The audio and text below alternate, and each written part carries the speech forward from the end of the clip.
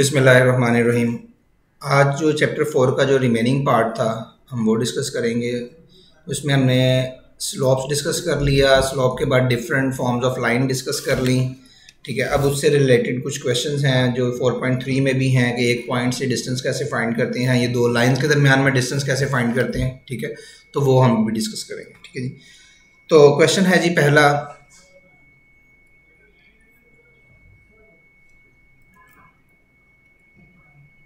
if distance of the point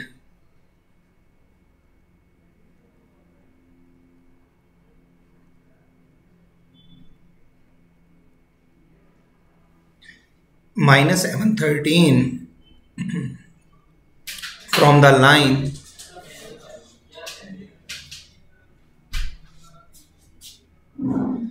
two x plus y plus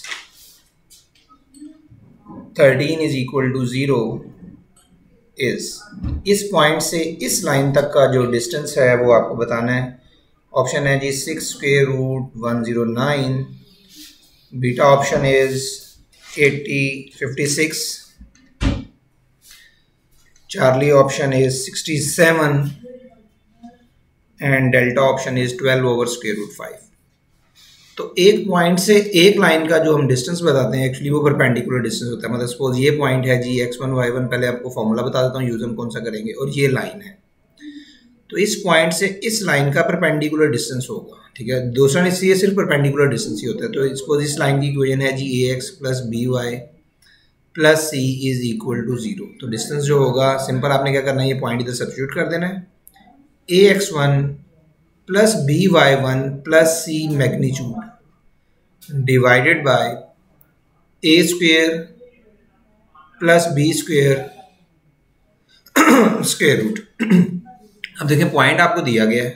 point है जी minus seven और thirteen तो जैसे हमने इधर पुट कर देंगे माइनस सेवन इंटू टू ये हो जाएगा जी minus fourteen plus thirteen and plus thirteen magnitude divided by A square plus B square a is 2 तो 2 square is 1 uh, 4 and 1 is 1 तो इसको सिंप्लीफाई करें 13 26 26 माइनस फोर्टीन या minus one plus thirteen is 12 divided by square root 5 तो जैसे ये formula है और कुछ नहीं है पुट करें आंसर मिल गया जो कि 12 ओवर स्क्वेयर रूट 5 है डेल्टा ऑप्शन में अब इसी तरह का एक क्वेश्चन और भी बन सकता है जी, दो लाइंस के दरमियान में डिस्टेंस क्या होगा? ठीक है the distance between parallel lines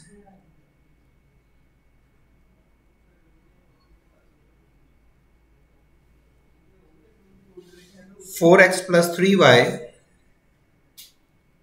minus two is equal to zero and four X plus three Y plus eight is equal to zero is distance क्या होएगा जी? Thirteen by two beta option fifty nine by three Charlie option two and delta option twelve अच्छा distance जो दो parallel lines में ही हो सकता है, अगर लाइंस पैरेलल नहीं है तो डिस्टेंस नहीं मिलेगा। अब तो पैरेलल लाइन कैसे पता चलेंगी? एक्स और वाई का कॉफियन देखें, आपको सेम नज़र आ रहा है, इसका मतलब दोनों की स्लोप सेम है। दोनों की अगर स्लोप सेम है तो ये लाइंस पैरेलल तो ये पैरेलल लाइंस में जस्ट आपने ये वाला फॉर्मूला यूज़ करना है C minus C dash mod मतलब डिस्टेंस कभी नेगेटिव नहीं होता over A square plus B square अब ये ए और बी चाहे आप फ़र्स्ट वाली लाइन का पिक कर लें या सेकंड वाली लाइन का पिक कर लें, क्योंकि दोनों में ए और बी सेम होगा। सी और सी डैश ऑब्वियसली डिफरेंस होंगे तो अगर सपोज़ सी है जी माइनस टू तो सी डैश यहाँ पे एट है तो ये हो जाएगा जी minus eight magnitude divided by a is 4 4 square is 16 and b is 3 3 square is 9 तो ये हो गया जी minus eight minus two minus ten तो मोड में टेन हो जाएगा divided by sixteen nine twenty five twenty five का स्केयर रूट फाइव तो जब ये डिवाइड हो जाएगा तो इसका आंसर क्या बन गया टू तो दो लाइंस में अगर आपको डिस्टेंस फाइंड करना है तो आप ये वाला रिज़ल्ट यूज़ करेंगे। ठीक है जी? इसी तरह का एक और क्वेश्चन मैं आपसे डिस्कस कर लेता हूँ। ये है जी directed distance of a point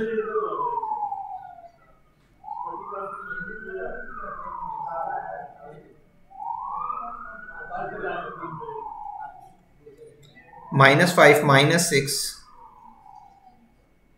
from y-axis is option A 6 option B minus 6 option C 5 and option D is minus 5 अब डिस्टेंस की बात हो रही है तो डिस्टेंस में ये तो कंफर्म है कि वो कभी नेगेटिव नहीं हो सकता तो ना ही आपकी बी ऑप्शन है, ना ही आपकी डी ऑप्शन है। तो ऑप्शन सिर्फ़ एक ही बच रही है, दो ही बच रही हैं ए और सी अब वाई एक्सिस से आपको डिस्टेंस बताना है। वाई एक्सिस की इक्वेशन आपको याद होगी। वाई एक्सिस की इक्वेशन होती है X is equal to zero तो ये पॉइंट और ये इक्वेशन है तो आप डिस्टेंस फार्मूला यूज़ करके निकाल सकते हैं। लेकिन ये क्वेश्चन में आपको फार्मूला यूज़ करने की ज़रूरत नहीं है। अगर एक्स एक्सिस और वाई एक्सिस देखा जाए तो ये point minus five minus six यहाँ पे होगा कहीं। एक्स एक्सिस से डिस्टेंस का माइनस फाइव है और वाई एक्सिस से डिस्टेंस इसका कितना है? माइनस सिक्स मतलब नीचे की तरफ़ है। तो हमें वाई एक्सिस से इसका डिस्टेंस तो वाई एक्सिस ये वाला है। तो ये वाला अगर वाई एक्सिस से डिस्टेंस देखेंगे तो एक्चुअली वो एक्स एक्सिस वाला डिस्टेंस बन रहा होता है। तो एक्स एक्सिस से इसका डिस्टेंस कितना है जी? फाइव जो कि चार डी ऑप्शन में दिया गया। तो इसमें फॉर्मूला लगा सकते हैं, वो भी यूज़ कर सकते हैं, नहीं तो डायरेक्ट आप इसी तरह अगर वाई एक्सिस से डिस्टेंस पूछे तो एक्स वाला पॉइंट और अगर एक्स एक्सिस से डिस्टेंस पूछे तो वाई वाला पॉइंट आप यूज़ कर लेंगे। ठीक है जी? तो ये दो लाइंस का डिस्टेंस एक पॉइंट से एक लाइन का डिस्टेंस हो गया।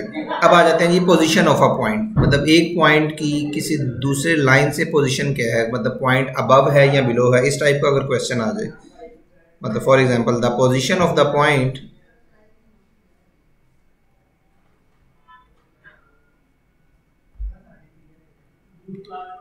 three minus two with respect to the the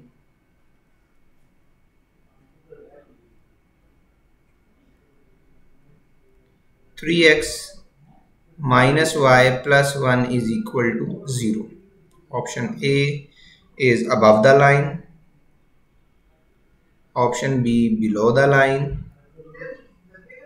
Option C on the line.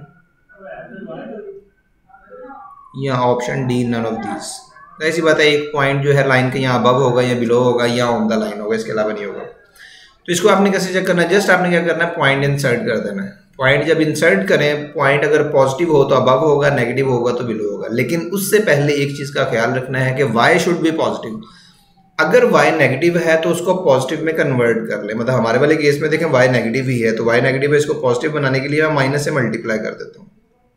ये इक्वेशन बन जाएगी। Minus three x plus y minus one अगर आपको वाई पहले ही पॉजिटिव दिया गया है तो डायरेक्ट पॉइंट अगर वाई नेगेटिव है तो पॉइंट पहले वाई को पॉजिटिव करें, फिर पॉइंट पुट करें। अब जब पॉइंट इधर पुट करेंगे तो ये कितना हो जाएगा जी? Minus nine minus two and minus one ठीक है जी? तो ये answer obviously less than zero है। तो जब लेस देन ज़ीरो होगा पॉइंट तो वो एक्चुअली क्या होएगा? बिलो द लाइन अगर पॉजिटिव आए तो अबव द लाइन नेगेटिव आए तो बिलो द लाइन और अगर ज़ीरो आ जाए ज़ीरो वाले केस में क्या होएगा वो? ऑन द लाइन होगा। ठीक है जी? ओके उसके बाद जो क्वेश्चन है, एक और क्वेश्चन डिस्कस कर लेते हैं उसी का। Determine the find alpha if two x minus alpha y plus three is equal to zero four point three में फोर पॉइंट फोर में जितने भी डिफरेंट टाइप्स के क्वेश्चन है, मैं वो आपसे डिस्कस कर रहा हूँ, ठीक है? बाकी चैप्टर फोर बहुत आसान है, अगर आपको फॉर्म्स याद हैं, ये कंडीशंस याद हैं तो मेरा नहीं ख्याल कि कोई ऐसा क्वेश्चन होगा जो आप अटैम्प्ट ना कर पाएँ, ठीक है? ये मोस्टली तकरीबन सारे बच्चे ही कर लेते हैं, बस छोटी छोटी चीज़ें आपको याद रखनी है। Are concurrent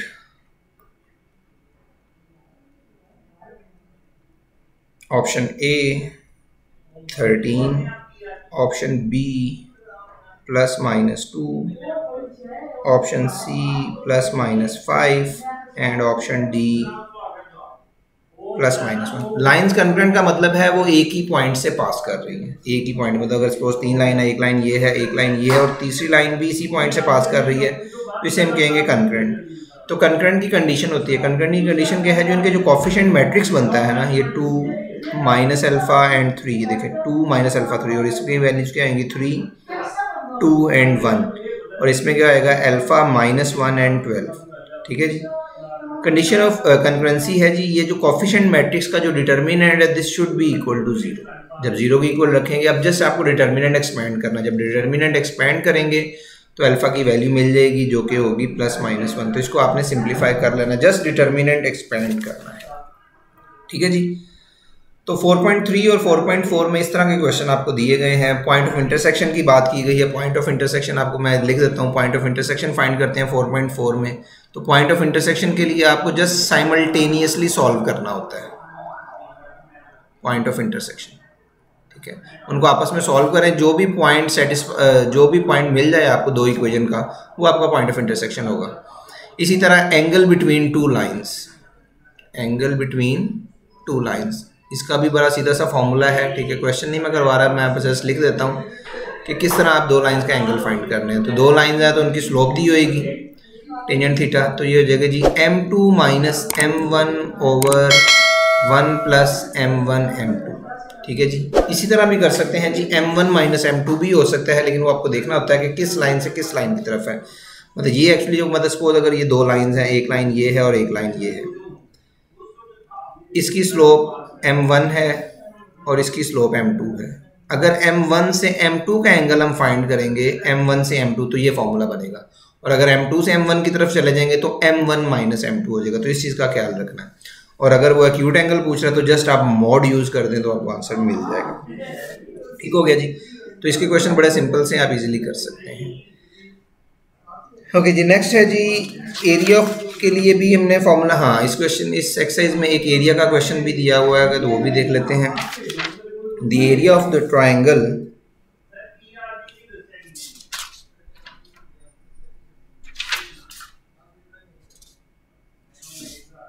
the area of triangle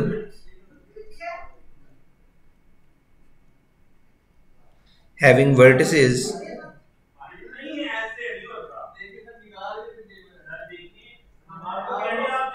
उस वर्टिसेस आर वर्टिसेस हैं जी minus four minus one one two and four minus three is option A fifteen option B seventeen C option sixteen या डी ऑप्शन आपका area zero है। तो area का formula भी आपको याद होगा कि अगर वर्टिसेस दिए हों तो एरिया फाइंड करना कोई मुश्किल काम नहीं है। तो ये हो जाएगा जी x one y one one x two y two one x three y three and one तो इस फॉर्मूले से आप एरिया फाइंड कर लेंगे। जस्ट ये पॉइंट दिए गए हैं, आप पुट करें। डिटर्मिनेंट एक्सपेंड करें आंसर मिल जाएगा। एक और भी है, आप अगर थ्री क्रॉस थ्री का नहीं करना चाहते टू क्रॉस टू का करना है तो वो भी मैं लिख देता हूँ जी, उसमें हो जाएगी जी x one minus x two and x one minus x three y one minus y two and y one minus y three तो अगर आपको थोड़ा सा टाइम सेव करना है तो आप ये वाला फॉर्मूला भी यूज़ कर सकते हैं। किसी को भी यूज़ करें, आपको आंसर जो मिल जाएगा एक्चुअली माइनस सेवनटीन आएगा। चूँकि एरिया वो नेगेटिव नहीं होता तो हम इसको पॉजिटिव ही कंसिडर करेंगे। ये जो मैंने सेकेंड वाला फॉर्मूला लिखा है, ये आपकी बुक में नहीं है, ठीक है? लेकिन इससे ये शॉर्ट है। मतलब इधर थ्री क्रॉस थ्री का डिटर्मिनेंट एक्सपेंड करना है, लेकिन इधर आपको क्या एक्सपेंड करना है? टू क्रॉस टू का डिटर्मिनेंट नेक्स्ट जो टॉपिक है जी, हमारा सेकेंड डिग्री होमोजीनियस इक्वेजन है जी। Second degree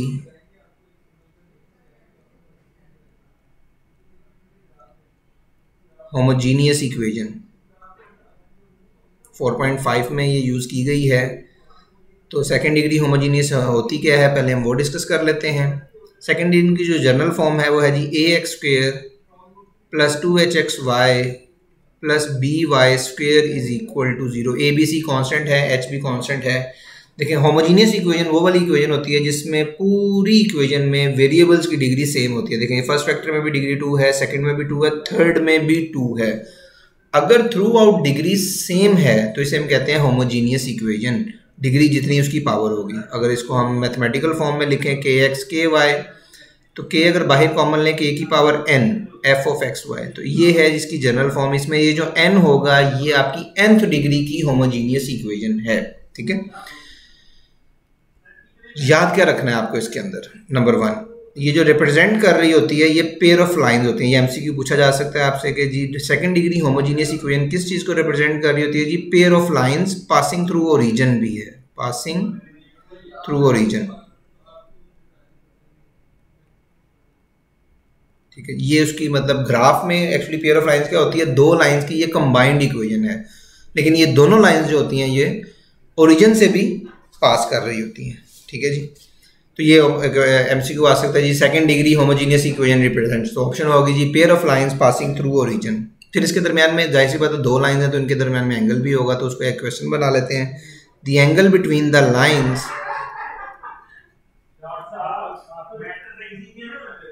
represented by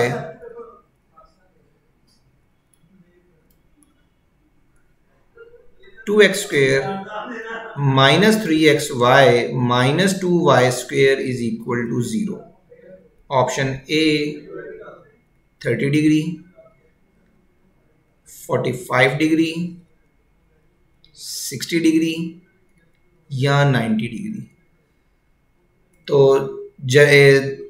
homogeneous equation में जो एंगल फाइंड करते हैं, दो लाइंस के दरम्यान में, उसके लिए जो फॉर्मूला है tangent theta two into h square minus a b over a plus b अब ए और बी और एच की वैल्यू आपको इक्वेशन से मिल जाएँगी. हेयर ए इज़ टू उसको जनरल से कंपेयर करेंगे. टू एच की वैल्यू हो जाएगी जी माइनस थ्री तो एच की value minus three by two आ जाएगी and b is minus two ठीक है जी?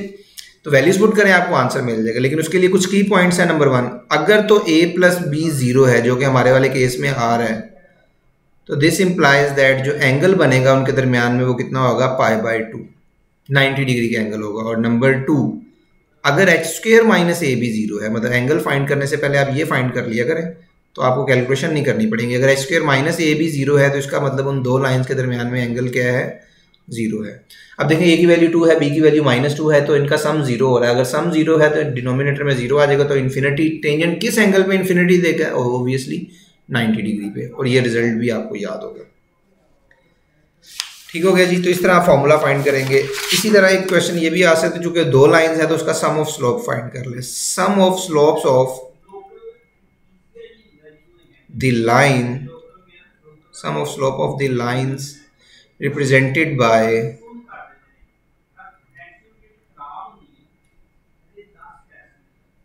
three x square minus two x y plus five y square is equal to zero बताना है जी सम ऑफ़ स्लोप क्या आएगा? Two by five one by five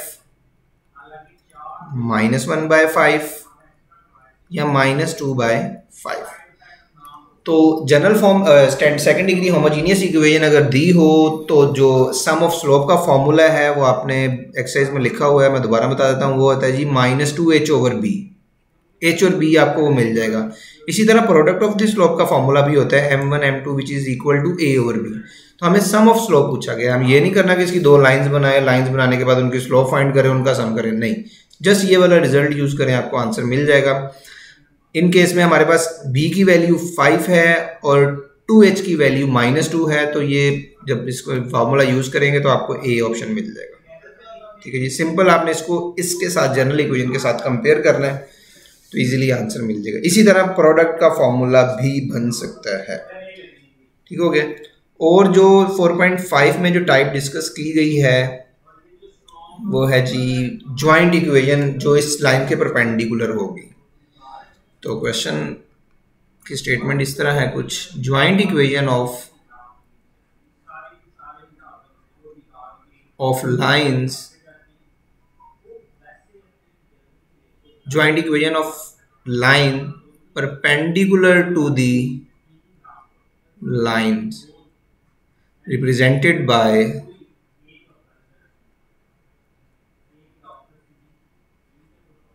three x square minus two x y plus y square is equal to zero तो ये ये long question आपको exam में आता है। तो मैं ऑप्शन लिख देता हूँ, आप इसको सिंप्लीफाई कर ले तब तक और आंसर सेलेक्ट कीजिएगा। beta option x square plus 2xy plus 3y square is equal to 0 c option 3x square plus 2xy minus y square is equal to 0 and delta option x square minus 2xy plus 3y square is equal to 0. तो जो ये long question आपको 4.5 में अगर देखेंगे तो and वाले दो जो क्वेश्चन है वो इसी तरह के हैं, ठीक है? तो आपने वो लाइंस तो फाइंड करने की ज़रूरत नहीं है, इतना टाइम नहीं होगा तो आपने करना क्या है? परपेंडिकुलर इक्वेशन के लिए डायरेक्ट एक वे है, मैं आपको बता देता हूँ, ये जनरल फॉर्म में बताता हूँ। अगर इस तरह आपको दी हुई और इसके परपेंडिकुलर लाइंस फाइंड करनी है आपको तो जस्ट आपने क्या करना है? ए और बी को इंटरचेंज कर देना है। ये मैं इसको हाईलाइट कर देता हूँ। इस ए और बी को आपने क्या कर देना है? इंटरचेंज कर देना है। साइन के साथ इंटरचेंज करना, ये ख्याल रखना है आपने, ठीक है? तो साइन क्या आ जाएगा जी? B b x square b x square plus a y square ठीक है जी? ये आपके ये चेंज हो गए ए और बी और जो मिडल वाली टर्म है, उसका साइन चेंज कर देंगे तो आंसर मिल जाएगा। तो b x square minus two h x y plus a y square equal to zero तो ये जो नई लाइन बनेगी, ये परपेंडिकुलर लाइन होगी। तो हम भी इस तरह कर लेते हैं। तो ये देखो ए और बी को इंटरचेंज करेंगे तो ये हो जाएगा जी एक्स स्क्वेयर का कॉफिशेंट वन हो जाएगा। दरमियान वाले का साइन चेंज करना है तो प्लस टू एक्स वाई और उधर आ जाएगा three y square equal to zero तो ये वो लाइन है जो कि ओरिजिनल लाइन के परपेंडिकुलर है। ठीक है जी तो ऑप्शन हमारे पास बीटा में दिया गया है ये। ठीक है जी तो ये था जी हमारा 4.5 आपने प्रैक्टिस कर लेनी है 4. जितने भी फॉर्म्स हैं लाइंस की, वो याद रखनी है।